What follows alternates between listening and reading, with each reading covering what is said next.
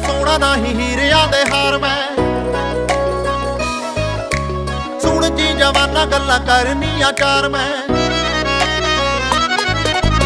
ਮੰਗਦੀ ਨਾ ਸੋਨਾ ਨਹੀਂ ਹੀਰਿਆਂ ਦੇ ਹਾਰ ਮੈਂ। ਸੁਣ ਜੀ ਜਵਾਨਾ ਗੱਲਾਂ ਕਰਨੀਆਂ ਚਾਰ ਮੈਂ। ਔਰੇ ਆਪ ਤੇਰੇ ਆਸੇ ਪਾਸੇ ਉੱਠਦੇ। ਔਰੇ ਆਪ ਤੇਰੇ ਆਸੇ ਪਾਸੇ ਉੱਠਦੇ। ਜਦੋਂ ਕੋਈ ਮੁਹੱਬਤਾਂ ਦਾ ਫੁੱਲ ਖਿੜਦਾ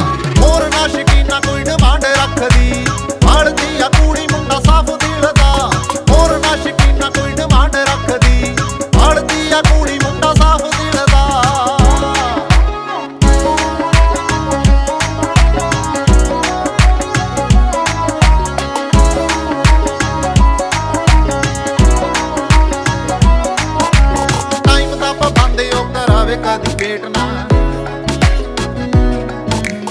ਜਦੋਂ ਮੈਂ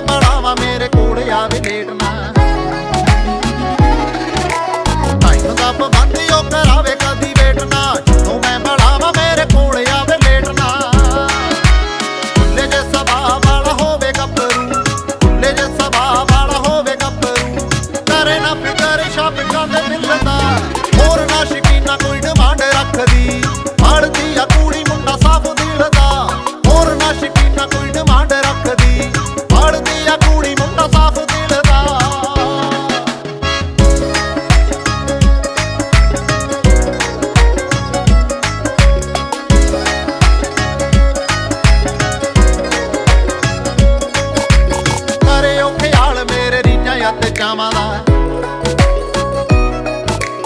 ਮਤਲਬ ਪਤਾ ਹੋਵੇ ਲਈਆਂ ਕਰ ਲਾਵਾਂ ਦਾ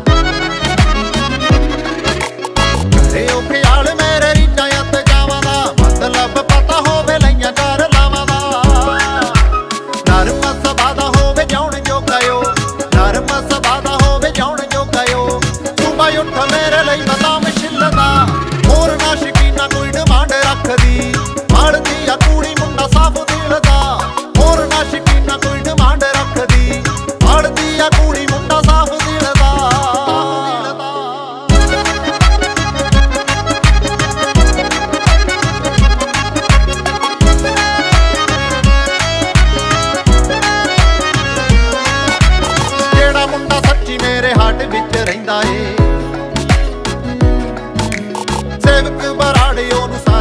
ਕਹਿੰਦਾ ਏ।